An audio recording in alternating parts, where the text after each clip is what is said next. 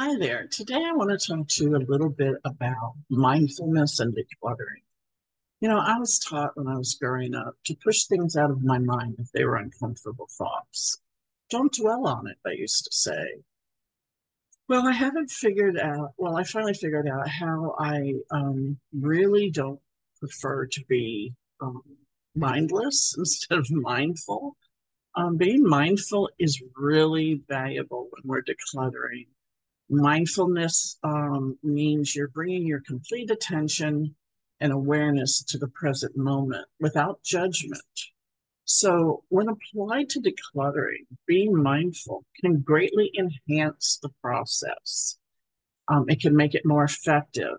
Um, a few ways to incorporate mindfulness uh, into your decluttering is um, be intentional about what you do.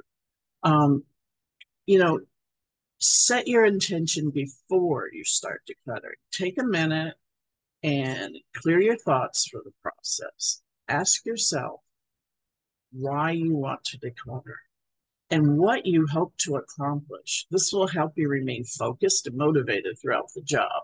So, like if you have a messy catch all room and you want to turn it into a guest room, there's your purpose. And as you're working through to get it that way, it'll keep you motivated having a visual picture of what you want to end up with.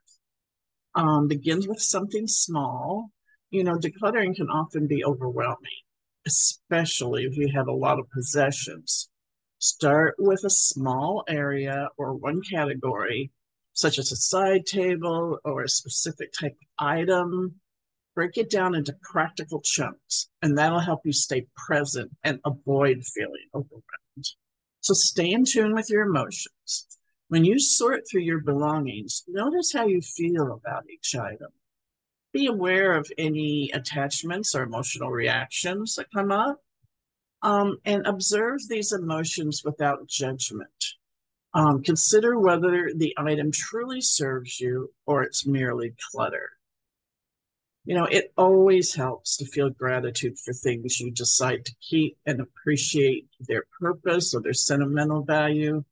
Letting go of items, though, can be easier when you acknowledge the positive impact they have had on your life and then you release them with no guilt or obligation.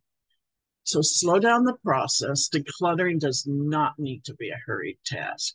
Take your time, carefully examine each item, appreciating its presence and considering its usefulness. This deliberate approach will help you make more thoughtful decisions and avoid impulse choices. So stay in the present. Don't get caught up with the past or concerned about the future. Your attention needs to be focused on the present moment and engage your senses as you evaluate each item. The, this mindfulness will augment your decision process. Decluttering is not just about organizing your physical space. It can have a positive impact on your emotional happiness. Through integrating mindfulness into the process, you can cultivate a feeling of peacefulness and clarity. Work with intention to create an organized and harmonious living space. So take care, and I'll see you next time.